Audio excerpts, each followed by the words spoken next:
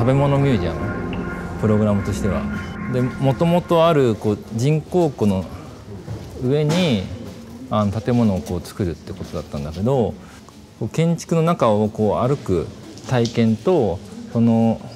湖から感じられる景色をあの体感するその感じをこう同じようにこうしたいなっていうふうに思って、まあ、建物の中は、まあ、ガラスで仕切られてはいるんだけど、まあ、夏とかにはこう開けられる感じになってて、まあ、床自体は少しこう、まあ、浜辺というかみたいな感じで少しこう自然とこう水の中にあの沈んでいくような感じで作ってます。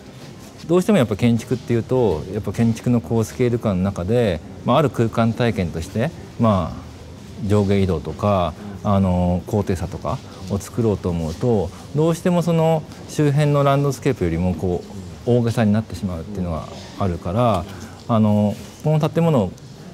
がをその元々のランドスケープと、まあ、ほぼ同じスケール感でをつける作ることによってまあ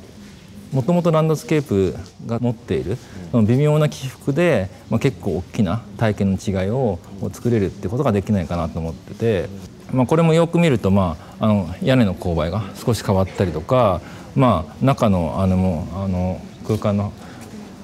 そう幅も、まあ、そういう感じで変わってるんですけど、まあ、都市の中で、まあ、1キロの建築を本当に作ろうと思ったら、やっぱり周辺にはそのコンテクストもプログラムもアクティビティがもともとあるからあのやっぱりその都市的な人間のスケールであの建築の変化を作らなきゃいけないと思うんだけど逆にここはもう周辺にはそのそういう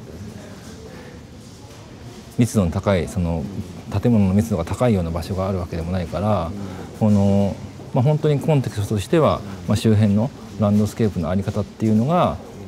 まあ、この建物のよりどころになってるから、まあ、そういう作りで作れたっていうのは結構作れるっていうのは結構